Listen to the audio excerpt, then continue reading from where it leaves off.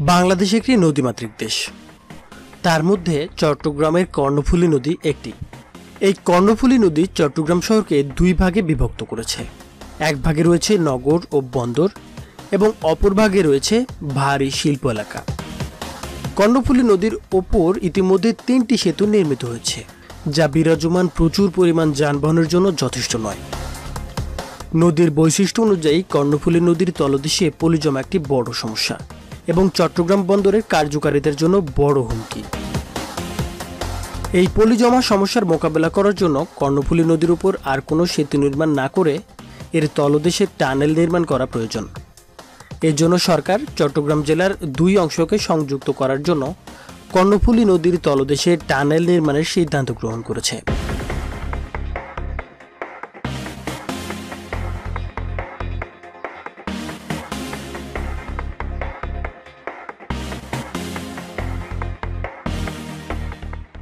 চট্টগ্রাম হল বাংলাদেশের প্রধান সমুদ্র বন্দর এবং বৃহত্তম বাণিজ্যিক নগরী। কর্ণফুলী নদীর মুখে অবস্থিত চট্টগ্রাম বন্দরের মাধ্যমেই অধিকাংশ দেশের আমদানি এবং রপ্তানি কর্মকাণ্ড পরিচালিত হয়। প্রস্তাবিত টানেল চট্টগ্রাম বন্দর নগরকে কর্ণফুলী নদীর অপর অংশের সাথে সরাসরি সংযুক্ত করবে এবং পরোক্ষভাবে ঢাকা চট্টগ্রাম কক্সবাজার মহাসড়কের মাধ্যমে সারা দেশের সাথে সংযুক্ত করবে। কর্ণফুলীর দক্ষিণ তীর তথা আনোয়ারা ও কর্ণফুলী উপজেলা টানেলের মাধ্যমে মূল নগরের সঙ্গে যুক্ত হবে। চীনের সাংহাইয়ের আদলে গড়ে উঠবে দুই শহরের সমন্বয়ে একটি নগর। দু হাজার সতেরো সালের চোদ্দই অক্টোবর প্রধানমন্ত্রী শেখ হাসিনা ও চীনের প্রেসিডেন্ট শি জিনপিং ঢাকায় এক অনুষ্ঠানে এই টানেলের ভিত্তিপ্রস্তর স্থাপন করেন। দেশি বিদেশি বিনিয়োগকারীদের কাছে চট্টগ্রাম গুরুত্বপূর্ণ হয়ে উঠেছে। কিন্তু বিনিয়োগ ধরে রাখার মতো জমি এখন আর চট্টগ্রাম শহরে নেই। তাই বর্তমান সরকার কর্ণফুলী নদীর ওপারকে দেশি বিদেশি বিনিয়োগের হাব করতে টানেলটি নির্মাণের সিদ্ধান্ত নিয়েছেন। টানেল নির্মাণকে কেন্দ্র করে কর্ণফুলী নদীর ওপারে বিনিয়োগ শুরু করেছে দেশি বিদেশি প্রতিষ্ঠানগুলো। বর্তমানে কর্ণফুলী নদীর ওপারে চালু রয়েছে কোরিয়ান ইপিজেড। পাশাপাশি বিচ্ছিন্নভাবে কিছু শিল্প কারখানা গড়ে উঠেছে। টানেল নির্মাণের সঙ্গে সমন্বয় রেখে সরকার আনোয়ারায় একটি ইকোনমিক জোন স্থাপন করছে। পাশাপাশি চীনের বিনিয়োগকারীদের জন্য বিশেষ চায়না ইকোনমিক জোন বাস্তবায়িত হচ্ছে।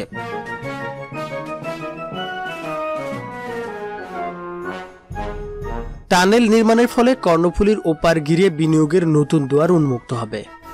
এটিকে কাজে লাগিয়ে পরিকল্পিত শিল্পাঞ্চল হবে সেখানে।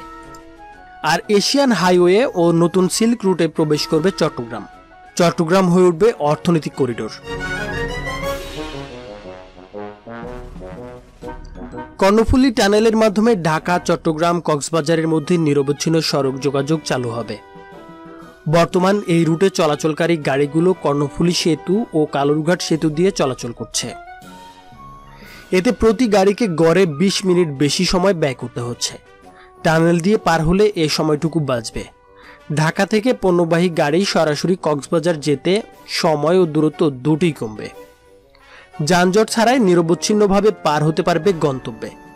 মহেশখালী থেকে একটি গাড়ি টানেল দিয়ে সরাসরি ঢাকায় পৌঁছাতে পারবে চট্টগ্রাম শহরে প্রবেশ না করেই।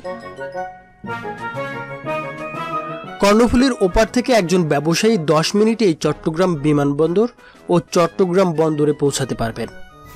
কর্ণফুলী নদীর তলদেশ দিয়ে দেশের প্রথম টানেল হিসেবে তার নানামুখী অর্থনৈতিক এবং সামাজিক গুরুত্ব রয়েছে। এটি শুধু দেশের দক্ষিণ পূর্বাঞ্চলের যোগাযোগ নেটওয়ার্ক গড়ে তুলবে না। এর মাধ্যমে দক্ষিণ চট্টগ্রামের শিল্প কারখানা সহ অর্থনৈতিক বিপ্লব সাধিত হবে। দেশের প্রধান পর্যটন এলাকাসমূহের মধ্যে কক্সবাজার, সেন্ট মার্টিন, বান্দরবান সহ পাহাড়, সমুদ্র ও নদীর এই ত্রিমাত্রিক নয়নাভিরাম সৌন্দর্য উপভোগ করতে দেশি বিদেশি পর্যটকদের সহজতর যোগাযোগ ব্যবস্থার ক্ষেত্রে টানেল মুখ্য ভূমিকা পালন করবে। ইতোমধ্যে কক্সবাজারের মহেশখালীর মাতারবাড়ি এলাকায় দেশের প্রথম গভীর সমুদ্র বন্দর কয়লাভিত্তিক তাপবিদ্যুৎ কেন্দ্র, এলএনজি স্টেশন সহ জ্বালানি ভিত্তিক বিপুল সংখ্যক দেশি বিদেশি বিনিয়োগের যে শিল্প কারখানা নির্মাণের কাজ চলছে। টানেল তাদের সঙ্গে পুরো বাংলাদেশের যোগাযোগের ক্ষেত্রে প্রধান ভূমিকা পালন করবে। তাছাড়া আনোয়ারা এলাকায় নির্মাণাধীন চায়না অর্থনৈতিক অঞ্চল এবং ইতোমধ্যে গড়ে ওঠা কোরিয়ান ইপিজেড সহ অন্যান্য শিল্প কারখানার ক্ষেত্রে সুবিধাজনক যোগাযোগ ব্যবস্থায় টানেল ভূমিকা রাখবে। কক্সবাজার সহ অত্র এলাকায় পণ্যসহ লোকজনের যাতায়াত সহজতর এবং দ্রুত হবে। টানেলের সঙ্গে বর্তমান নির্মাণাধীন সমুদ্র উপকূলীয় রিং রোড সংযোগ হওয়ায় চট্টগ্রাম শহরের ওপর ঢাকা অভিমুখী যানবাহনের কোনো চাপ পড়বে না। এতে করে যানজটও কমে যাবে চট্টগ্রাম শহরের। কর্ণফুলী নদীর তলদেশে নির্মিতব্য টানেলের সার্বিক কাজের পঞ্চাশ শতাংশ অগ্রগতি হয়েছে। কাজ দ্রুতই এগিয়ে চলছে। আশা করছি নির্ধারিত সময়ে কাজ শেষ হবে। ধীরে ধীরে সেগমেন্টগুলো আসছে। আনোয়ারা প্রান্তে বৈদ্যুতিক লাইন ও সাবস্টেশন নির্মাণ কাজ চলমান। পতেঙ্গা অংশে রোডের কাজ চলছে। এছাড়া working shaft cut and cover নির্মাণ কাজ শেষ হয়েছে বলে জানান প্রকল্প পরিচালক। প্রকল্পের জন্য তিনশো একাশি একর জমির মধ্যে বেশিরভাগ জমি অধিগ্রহণ হয়েছে। ঠিকাদার প্রতিষ্ঠানকে বুঝিয়ে দেওয়া হয়েছে। কিছু জমি অধিগ্রহণ কার্যক্রম প্রক্রিয়াধীন এবং খুব শীঘ্রই কার্যক্রম শেষ হবে।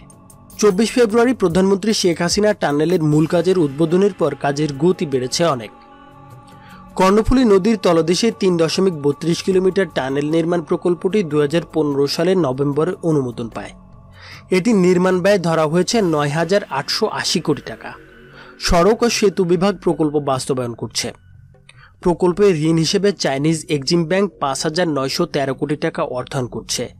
বাকি টাকা বাংলাদেশ সরকার অর্থায়ন করবে। নকশা অনুযায়ী কর্ণফুলী নদীর পতেঙ্গা প্রান্তের নেভাল একাডেমি পয়েন্ট থেকে টানেলটি আনোয়ারা চিটাগাং ইউরিয়া ফার্টিলাইজার এলাকায় গিয়ে শেষ হবে। টানেলে দুটি টিউব থাকবে। প্রতিটি টিউবের প্রস্থ হবে দশ দশমিক আট মিটার। এছাড়া উভয় প্রান্তে ছয় কিলোমিটার সংযোগ সড়ক নির্মাণ করা হবে। এছাড়া চট্টগ্রাম উন্নয়ন কর্তৃপক্ষের বাস্তবায়নাধীন আউটার রিং রোডের সঙ্গে টানেলটি যুক্ত হওয়ার কথা রয়েছে। মহাজোট সরকার ক্ষমতায় আসার আগে দু হাজার আট সালে লাল দিঘির ময়দানে বর্তমান প্রধানমন্ত্রী শেখ হাসিনা কর্ণফুলী নদীর তলদেশে টানেল নির্মাণের ঘোষণা দেন। দুই হাজার চোদ্দ সালের ডিসেম্বরে টানেল নির্মাণের জন্য ঠিকাদার প্রতিষ্ঠান চায়না কমিউনিকেশন কনস্ট্রাকশন কোম্পানির সঙ্গে চুক্তি সই হয়। চীন সরকার দুই হাজার ষোলো সালের জানুয়ারিতে জি টু জি ভিত্তিতে মানে সরকার টু সরকার ভিত্তিতে টানেল নির্মাণ প্রস্তাব অনুমোদন করে। চীনের সাংহাইয়ের মতো ওয়ান সিটি টু টাউনের আদলে চট্টগ্রামকে গড়ে তোলার উদ্যোগ হিসেবে টানেল নির্মাণ করা হচ্ছে। Construction of multi lane road, tunnel under the river Karnaphuli প্রকল্পের আওতায় এটি নির্মিত হচ্ছে। টানেলটি চট্টগ্রাম নগরকে কর্ণফুলী নদীর অপর অংশের সঙ্গে সরাসরি সংযুক্ত করবে। ফলে কর্ণফুলী নদীর দুই পাশে নতুন নতুন শিল্প কারখানা গড়ে উঠবে। পরোক্ষভাবে ঢাকা, চট্টগ্রাম, কক্সবাজার মহাসড়কের মাধ্যমে সারা দেশের সঙ্গে সংযুক্ত করবে। এতে কক্সবাজারের সঙ্গে ঢাকার দূরত্ব প্রায় ত্রিশ কিলোমিটার কমে যাবে। এটি ভবিষ্যতে এশিয়ান হাইওয়ের সঙ্গে যুক্ত হবে।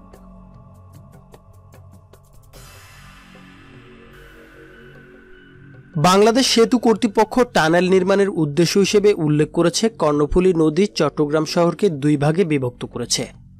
এক ভাগে রয়েছে নগর ও বন্দর এবং অপর ভাগে রয়েছে ভারী শিল্প এলাকা। কর্ণফুলী নদীর ওপর ইতিমধ্যে তিনটি সেতু নির্মিত হয়েছে, যা বিরাজমান প্রচুর পরিমাণ যানবাহনের জন্য যথেষ্ট নয়। নদীর বৈশিষ্ট্য অনুযায়ী কর্ণফুলী নদীর তলদেশে পলি জমা একটি বড় সমস্যা এবং চট্টগ্রাম বন্দরের কার্যকারিতার জন্য বড় হুমকি। কারণ নদীর তলদেশে পলি পড়ে নদীর নাব্যতা হারিয়ে ফেলে। এই পলি জমা সমস্যার মোকাবেলা করার জন্য কর্ণফুলী নদীর ওপর আর কোনো সেতু নির্মাণ না করে এর তলদেশে টানেল নির্মাণের কাজ প্রয়োজন। এর জন্য সরকার চট্টগ্রাম জেলার দুই অংশকে সংযুক্ত করার জন্য কর্ণফুলী নদীর তলদেশে টানেল নির্মাণের সিদ্ধান্ত গ্রহণ করে। কর্ণফুলী নদীর তলদেশে আট হাজার চারশো চৌষট্টি কোটি তেষট্টি লাখ টাকা ব্যয়ে তিন দশমিক চার কিলোমিটার দীর্ঘ টানেল নির্মাণের উদ্যোগ নেয় সরকার। দু হাজার সালের নভেম্বরে প্রকল্পটি অনুমোদন পায়। পরিকল্পনা অনুযায়ী দু বিশ সালের জুনের মধ্যে নির্মাণ কাজ শেষ হওয়ার কথা। কিন্তু সেটি সম্ভব না হওয়ায় সম্প্রতি প্রকল্পটি সংশোধনের মাধ্যমে মূল অনুমোদিত ব্যয় থেকে এক হাজার নয়শো চুয়াল্লিশ কোটি সাতচল্লিশ লাখ টাকা বাড়িয়ে মোট ব্যয় দশ হাজার তিনশো একানব্বই কোটি দশ লাখ চুরাশি হাজার টাকা এবং মেয়াদ আড়াই বছর বাড়িয়ে দু হাজার বাইশ সালের ডিসেম্বর পর্যন্ত করা হয়েছে।